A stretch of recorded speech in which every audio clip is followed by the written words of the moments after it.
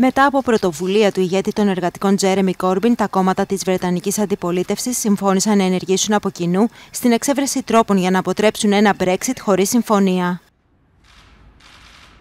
Στο κοινό ανακοινωθέν που εξέδωσαν μετά τη συνάντησή τους, εμφανίζονται ενωμένοι απέναντι στον κοινό στόχο τους, αλλά αναποφάσιστοι για το αν θα πρέπει να αναλάβουν νομοθετική πρωτοβουλία ή να καταθέσουν πρόταση μομφής για να ρίξουν την κυβέρνηση.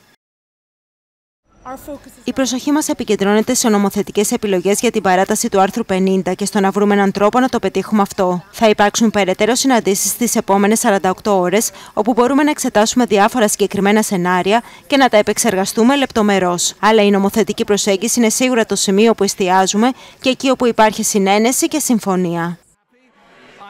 Το Κοινοβούλιο επιστρέφει από τη θερινή ανάπαυλα στις 3 Σεπτεμβρίου και ετοιμάζεται για τη μάχη με τον Πρωθυπουργό Μπόρις Τζόνσον.